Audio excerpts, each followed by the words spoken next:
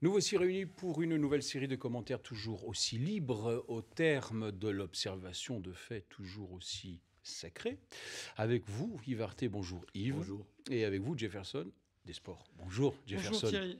Nous en parlions la semaine dernière euh, avec tout de même une question. Est-ce que ce sera un succès? Point d'interrogation. Les Gilets jaunes, ils sont toujours euh, dans l'actualité. La question demeure. Quel commentaire peut-on faire euh, au terme de ces actions? Bah, maintenant, une question se pose, c'est qu'est-ce que va devenir ce mouvement? On l'a vu euh, samedi, la mobilisation était très suivie, près de 280 000 290 000 personnes. Il y a eu aussi beaucoup de débordements. N'oublions pas qu'il y a eu deux morts au final, euh, plus de nombreux blessés, des interpellations. Bref, aujourd'hui, on a encore quelques mouvements sporadiques, quelques barrages filtrants encore un peu partout. On voit que quelques personnes arrivent à paralyser, voire bloquer des régions entières. Ça, c'est une vraie question. Mais surtout, que va devenir ce mouvement des Gilets jaunes? Est-ce qu'au final, ça n'aura été qu'une colère, un simple mouvement sporadique, une éruption Ou est-ce qu'au contraire, ce mouvement peut euh, pérenniser, peut devenir quelque chose, une force? Ça, c'est toute la question, parce que c'est un mouvement qui est né des réseaux sociaux. Et par définition, tout ce qui vient des réseaux sociaux, ce sont des mouvements très horizontaux, où on n'aime pas la hiérarchie, où de fait, c'est pas forcément organisé. C'est vraiment le côté spontané, souple, qui prédomine et qui fait aussi la force de ces mouvements. Maintenant, comment l'ancrer euh, dans l'avenir, comment le transformer en quelque chose de concret, là, c'est vraiment un vrai point d'interrogation. Et maintenant, tout le monde se regarde, enfin, tout le monde se regarde, tout le monde a les regards qui se tournent vers samedi et cet appel à marcher vers Paris. Et on regarde aussi ce que vont faire les syndicats de transport. Et Faux Transport a appelé euh, à soutenir le mouvement des Gilets jaunes avec euh, un mot d'ordre, c'est sur le pouvoir d'achat des citoyens. Donc voilà, il y a plusieurs questions qui se posent, mais celle-ci est principale, c'est qu'est-ce que ça va devenir? Yves, quelle ficelle on doit tirer pour comprendre avec un petit peu de recul euh, ce qui se passe, ce qui s'est passé, ce qui se passera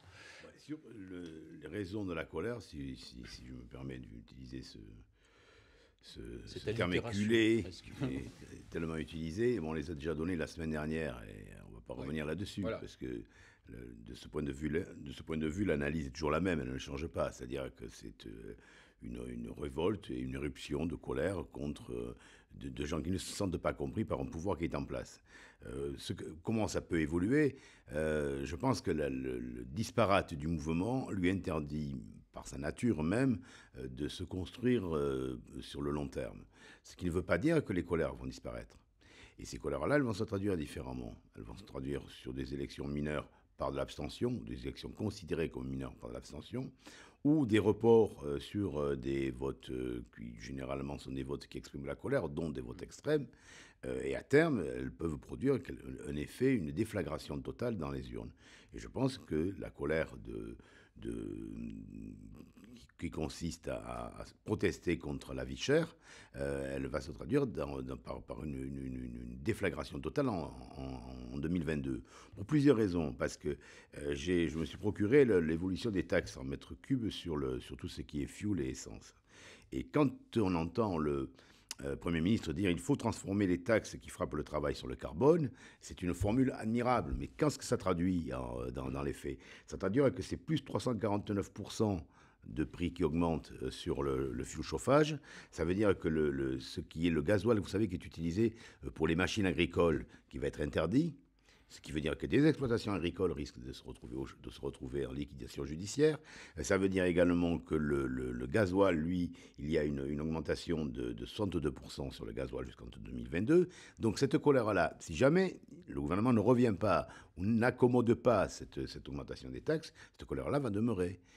Elle va demeurer et un jour, il y aura véritablement dans un premier temps, une explosion de colère qui passera par les urnes, et dans un second temps, une explosion de colère qui repassera par la rue, mais qui sera totalement différente, et de mon point de vue, beaucoup plus grave que celle à laquelle on assiste. Bon, mais alors après, c'est un peu toujours chiffre contre chiffre, parce que j'en ai entendu un autre ce matin, alors qu'il a sorti de sa manche, euh, un chiffre qui prouve que le pouvoir d'achat des Français a augmenté l'an dernier.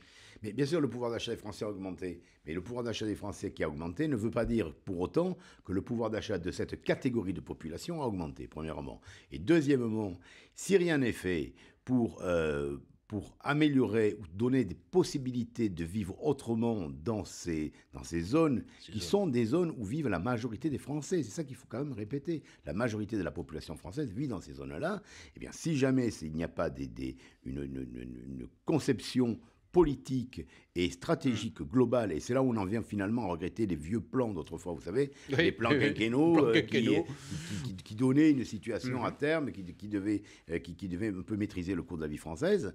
si jamais on, on, ne donne pas des perspectives à long terme, et si jamais on n'aménage pas ces villes-là, car il faut qu'elles soient changées, il faut que ces villes soient changées, il faut qu'effectivement on aille vers des formules plus, d'écologie et de, et de, et de, de, de, tout ce qui est de, réduction de carbone, bien évidemment, mais on ne peut pas le faire brutalement, uniquement en taxant des euh, moyens de chauffage ou de transport qui retombent sur les plus pauvres et qui les pénalisent. Juste une observation, on parle de pouvoir d'achat, mais c'est surtout les charges contraintes. Ce qu'il faut regarder, c'est les charges contraintes qui, elles, augmentent. On a tous besoin de se loger. Le prix des loyers, on sait ce qu'il est. Euh, beaucoup de gens ont besoin de leur voiture pour travailler. Et lorsque vous taxez les carburants, c'est une charge contrainte. Vous avez besoin de votre voiture pour travailler. Vous allez donc payer plus.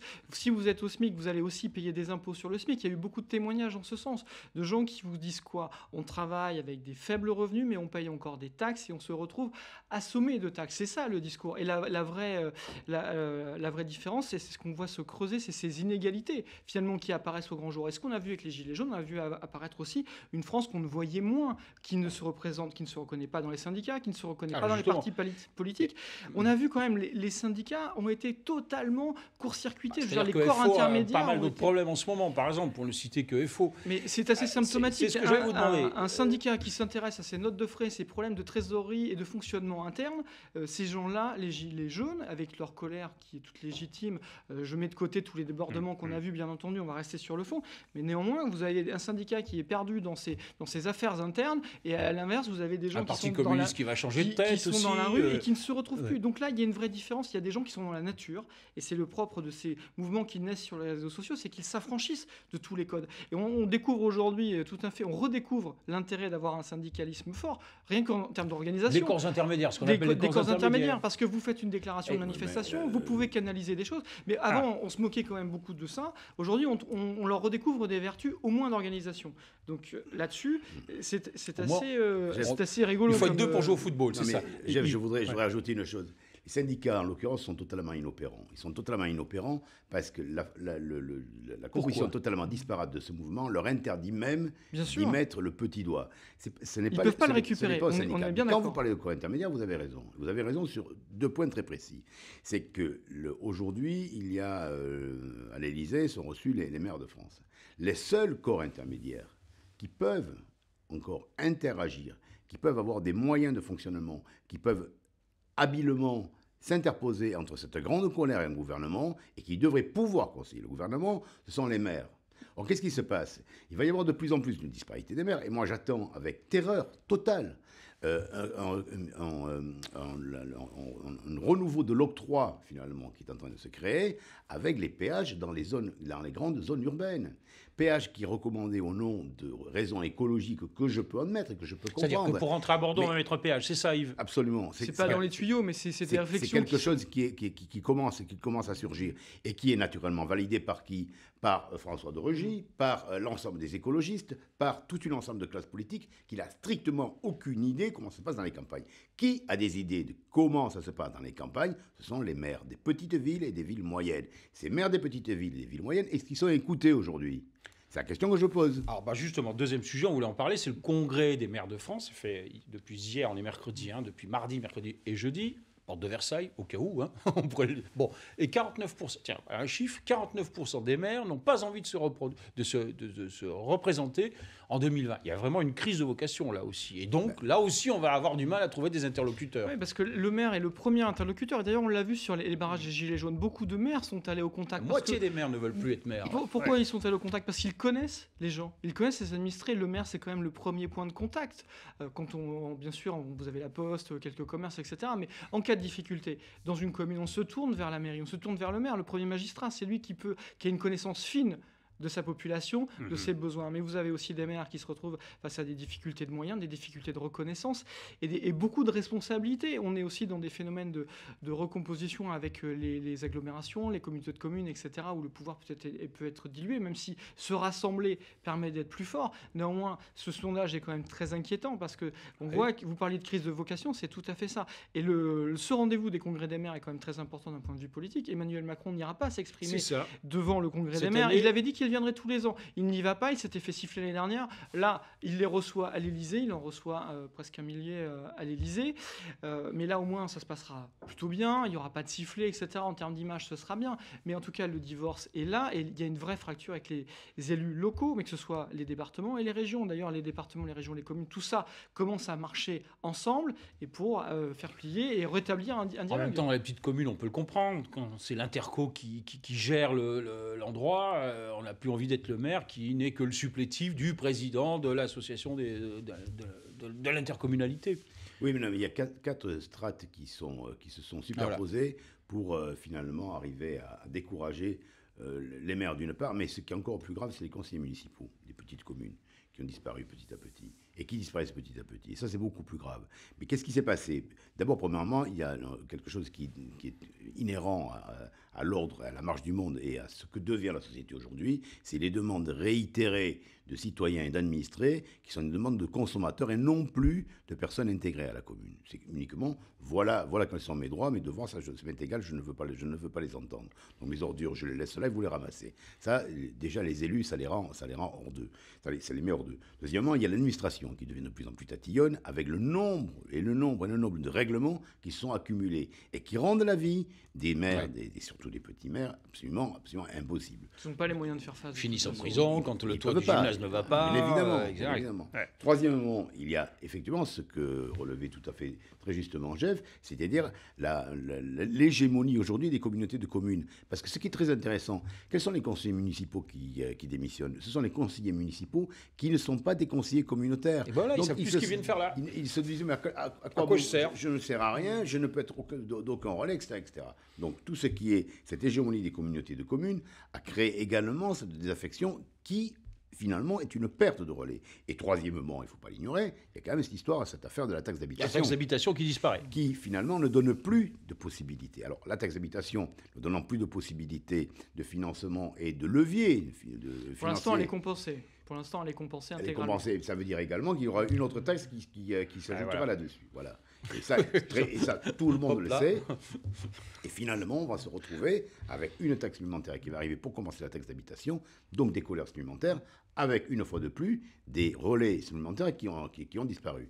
Et là, je trouve que de ce point de vue-là, euh, Emmanuel Macron commet de grosses fautes en ce moment. Ne pas s'être rendu, quels que soient les risques qu'il prenait hier au Congrès des maires, est une erreur, de mon point de vue. Les convoquer à l'Élysée est une erreur, parce qu'il y a quelque chose qui est de qui est incongru dans la situation dans laquelle on est. Le mot convocation. Et, et, non, et puis on n'est pas dans l'exemple de la décentralisation, clairement, on voit tout. Et dans le même temps, et j'entends, et dans le même temps, tenir un discours à Bruxelles où on s'adresse à des exilés fiscaux comme aux exilés de Coblence, alors je vous dise, on, est quand même d'accumuler, d'accumuler, mais des maladresses insignes, compte tenu de la situation dans laquelle est la France aujourd'hui.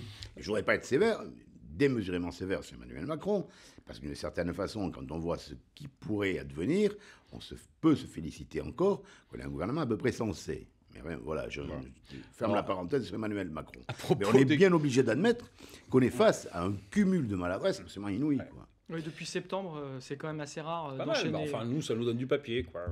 à propos d'exilés fiscaux, alors, bon, on va être flagorneur. Moi, j'aime bien votre titre, La cécité des puissants, euh, éditorial ce matin dans Sud-Ouest. Ça nous permet de parler de, eh ben, d'un autre événement du moment. Euh, Carlos Ghosn, le, PDG de, Enfin, je ne sais pas si on peut dire le PDG tout puissant. Enfin, le super PDG, le comment on l'appelle voilà. Et ce monsieur ne payait pas d'impôts, n'en avait jamais assez. Enfin, ne payait pas d'impôts, non. Euh, rappelons une, une, chose essentielle il y a la présomption d'innocence. Oui. On présuppose que sur les accusations de la justice nippone, il ne payait pas d'impôts ou il avait euh, fraudé le fils japonais. Dissimuler une partie de ses revenus. Voilà. Et dissimuler une partie de ses revenus. Et, euh, et circonstances aggravantes, utiliser l'argent de, de, la société, essentiellement de la société Nissan, euh, pour payer des frais, euh, des frais personnels. Ce sont les, les accusations. À ce, à ce, stade, on n'a pas entendu Carlos Ghosn, on n'a pas entendu ses avocats, on ne connaît pas la réalité des choses.